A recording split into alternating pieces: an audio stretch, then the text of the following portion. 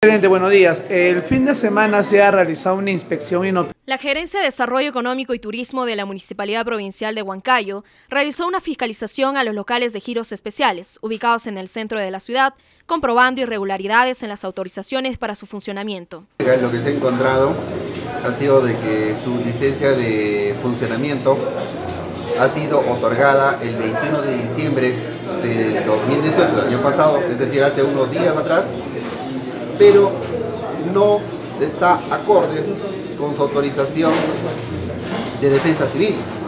Defensa civil dice una determinada área y su licencia dice otra área. Entonces, en mérito a ese, a ese desacuerdo se le ha infraccionado.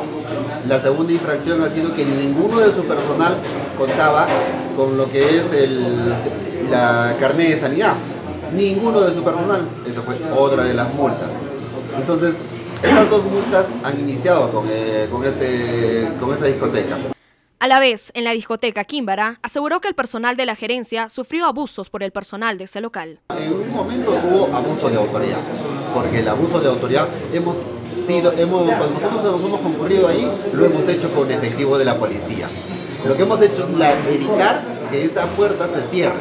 Hemos tratado de ingresar y se ha logrado ingresar. ¿Por qué? Porque no nos querían dejar ingresar. Entonces se ha logrado ingresar y adentro ya hemos constatado distintas este, incumplimientos.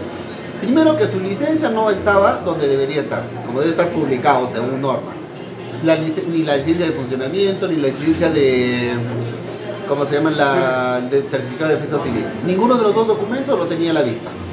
Le hemos solicitado, apareció poco media hora después por lo menos apareció el dueño y nos trajo solamente una copia. El gerente de Desarrollo Económico adelantó que se va a realizar una clausura temporal a estos establecimientos y presentará un proyecto de ordenanza sobre giros especiales. La discoteca es un, tema exclusivo, entonces yo no sé cómo se le ha otorgado ese certificado de defensa civil para que trabaje en mérito a la discoteca. ¿Cree usted que habría habido dinero por bajo? Yo no puedo asegurar en este momento absolutamente nada, pero lo que sí es claro y, y definitivamente lo que vamos a hacer es una nueva inspección.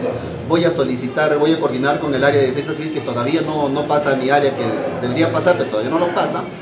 Eh, en tanto, voy a coordinar con el gerente de Seguridad Ciudadana para que él, en coordinación conmigo, hagamos una reinspección. Eso está facultado para nosotros. Lo vamos a hacer.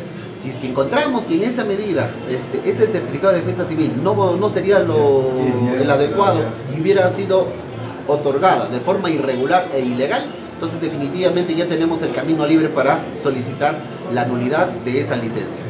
En los días próximos, el área de defensa civil pasará a la Gerencia de Desarrollo Económico y Turismo por disposición del alcalde. Además, indicó que dispondrá que Serenazgo de Huancayo realice una vigilancia permanente en las afueras de este establecimiento durante las noches.